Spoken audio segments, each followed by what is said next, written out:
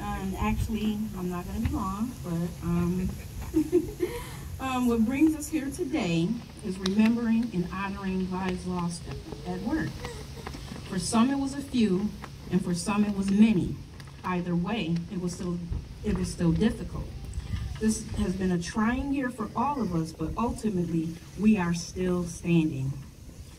I would like to thank all of the caregivers for standing up and being present for those who cannot help themselves. I cannot tell you how many times that I have been approached by family members, thanking me for caring for their loved ones. Um, I should also say that I'm a nurse at Weinberg campus. I've been at Weinberg campus for 24 years. So,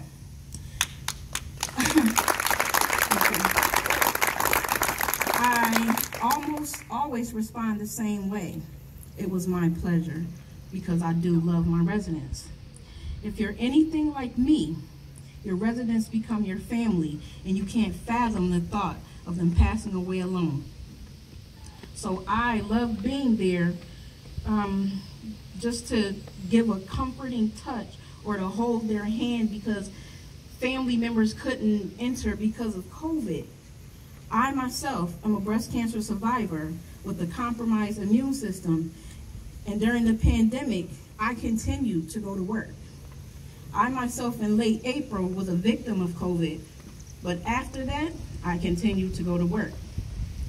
Let's not forget about our lost coworkers. When you hear the bad news that a coworker has passed away, it usually sends shockwaves through the workplace, whether they were young or old. I'm sorry.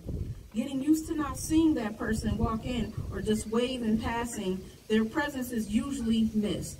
So I would like to take this time to remember, honor, and celebrate the lives of the ones that we have lost. Thank you.